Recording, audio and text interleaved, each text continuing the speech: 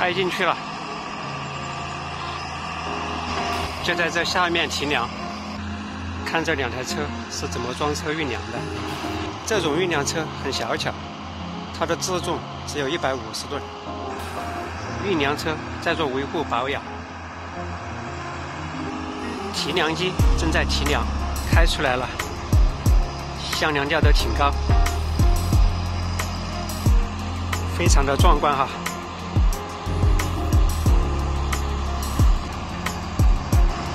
落梁了，梁放下来就上支撑座，师傅们都准备好了，要用到叉车。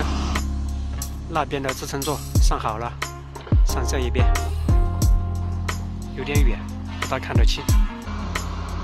运粮车到车了，它是在摆位置。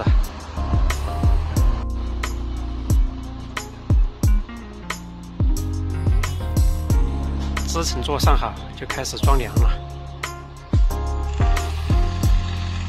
打紧螺栓。运粮车还要摆一下位置，又开进去了。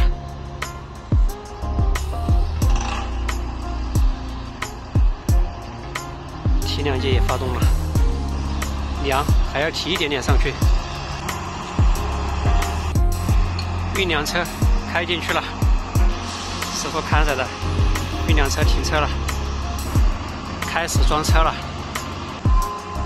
装到车上了。师傅开始拆螺帽和垫板了，螺帽和垫板很重的，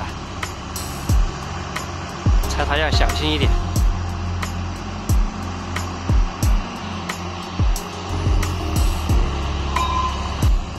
把垫板和螺帽要吊起来，吊臂开始升上去了，提螺帽和垫板，这个速度挺快哈。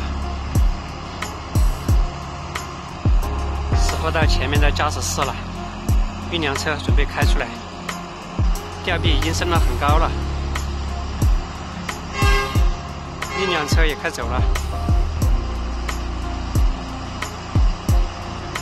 前车和后车要配合好，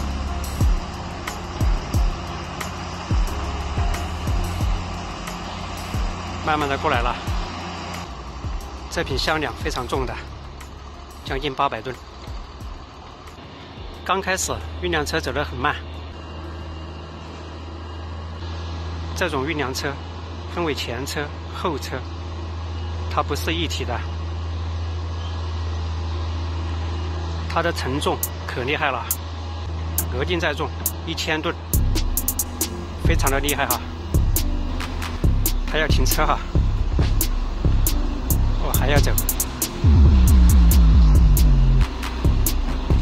前车的长度十八点九米，后车的长度二十点六米，后车要长一些。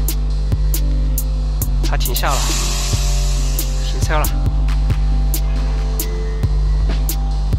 中午了，估计师傅们要吃完饭再走了。运粮车要从这里上桥，是这个位置。水泥罐车和吊车等着他过，运粮车开过来了，那里是上坡，还是一个转弯，算是急弯了，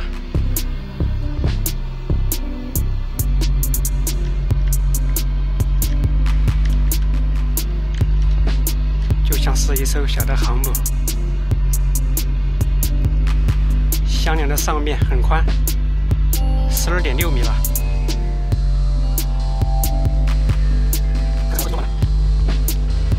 这是前车，后车还在后面。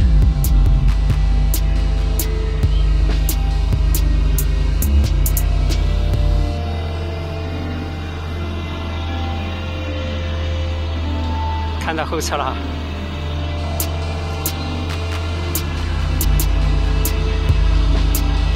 它的轮子非常的多，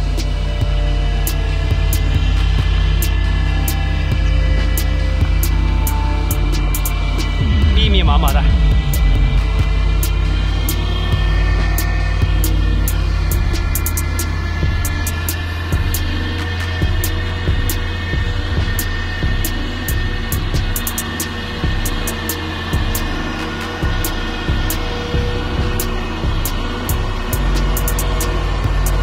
高了。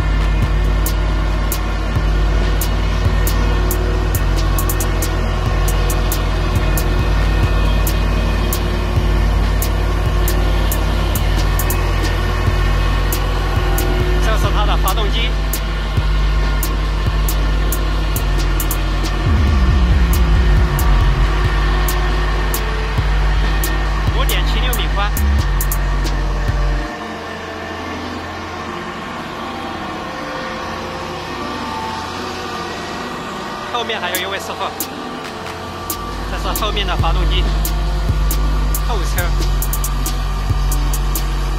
车的总长可能有四十多米。看他转弯上桥，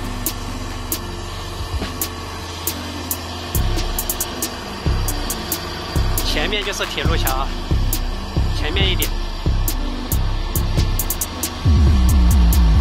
又开始转弯了。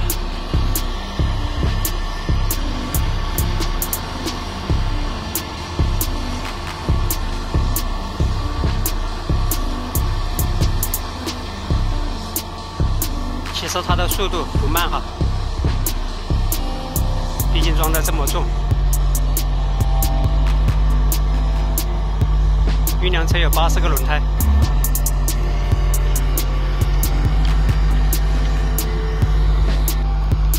上铁路线上了，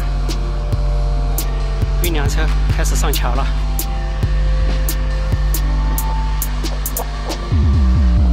铁路桥。两位师傅配合的挺好啊！运粮车走的这一段是高铁的路基，特大桥还在前面。我站的这一孔桥很短，只有三孔梁。这个视频就到这里结束了。